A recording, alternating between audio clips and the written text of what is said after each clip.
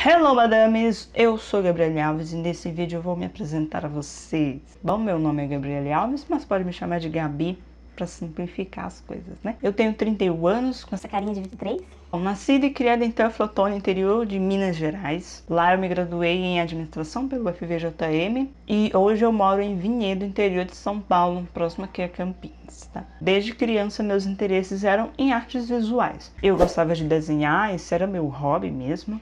Já quis ser designer gráfico e até cineasta. Essa pouca gente sabe, viu? Eu não contava para ninguém que vergonha. Mas foi na maquiagem que eu me encontrei a maneira de eu me expressar, de eu expressar a minha arte para o mundo. E eu comecei a meu, meu interesse pela maquiagem porque eu queria camuflar o problema de acne que eu tinha no meu rosto. Tinha muitas espinhas, era um grau 3, se eu não me engano. Gente, eu resolvi fazer uma pausa nesse vídeo para mostrar o antes e o depois do meu tratamento com Rokutan Uh, se vocês querem saber como que foi esse processo, deixem nos comentários para eu saber, que eu posso trazer um vídeo aqui falando só sobre isso aqui no canal. E também fiz um outro tratamento que mudou o formato do meu rosto, mais especificamente o meu perfil, sem fazer nenhuma cirurgia plástica, sem nenhuma cirurgia invasiva. Se você ficou curioso, também deixe nos comentários que eu posso trazer esse vídeo aqui para o YouTube. Beleza? E eu fazia um monte de cagada também, porque eu, né, no começo a gente erra pra caramba, até hoje a gente erra, mas com ao longo do tempo a gente vai aprendendo, né?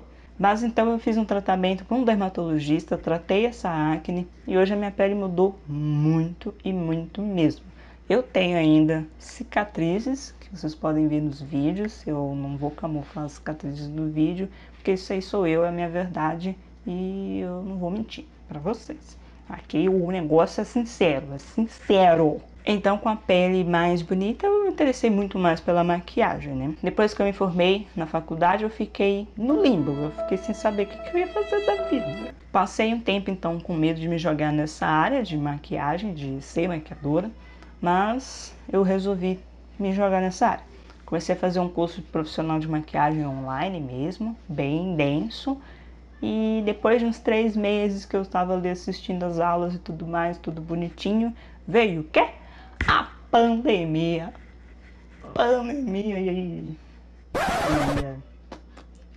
Mas eu continuei estudando mesmo assim. Continuei o curso, algumas noções de básicas de visagismo, que, eu, que é bem legal, colorimetria, fotografia e edição de vídeo.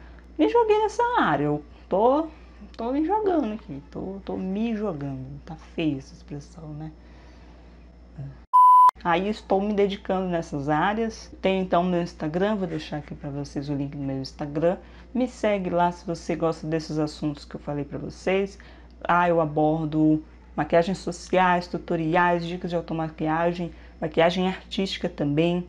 E aqui no YouTube meu foco vai ser em maquiagem artística porque eu acho que essa é a maior expressão artística para mim, que vem de dentro para fora. Eu não sei explicar, é fofo.